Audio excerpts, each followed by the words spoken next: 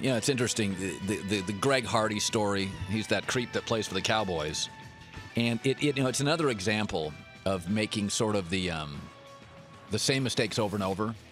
It's fascinating to me. Remember the Ray Rice story, where you got a story about his violence, and we were all like, feeling, yeah, the guy's bad dude, bad dude. And then there was the video of just pulling his fiance out of the elevator. That's the only thing we had initially.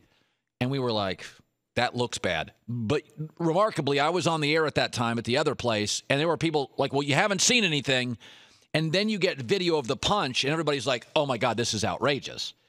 And in the Greg Hardy situation, a couple of days ago, pictures came out, and everybody's like, man, why did it take pictures? But I would argue we're doing the same thing over and over again. There's the allegation initially with Greg Landry. Oh, he's a bad, bad, bad guy. And then um, he says some things, and he's unrepentant, and it makes us mad. Then the pictures come out. Whew, there's some real anger. But has anybody thought about this? How did those welts happen on the woman? A brutal beating. If video came out tomorrow of the beating, you do realize he'd be out of the NFL. He would be out of the league. So we're doing it again. We're saying, I can't believe we're doing this with Greg Hardy. It took pictures. But, but once again, it takes video. Those welts don't appear. It's not poison ivy. She was beaten. And if there was video of that, he would be out of the league. So even though our anger has ramped up, we're still not upset enough over Greg Hardy.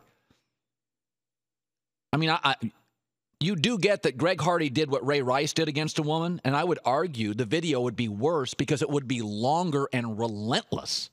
From what she described, it was a severe and relentless beating, and there were uh, guns all over the room. So you can add assault weapons in the room. She's being thrown on a couch.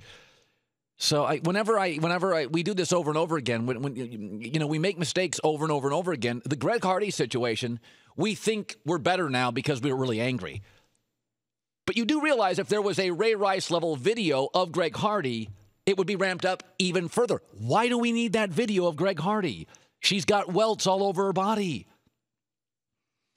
Those didn't magically appear. So it it it is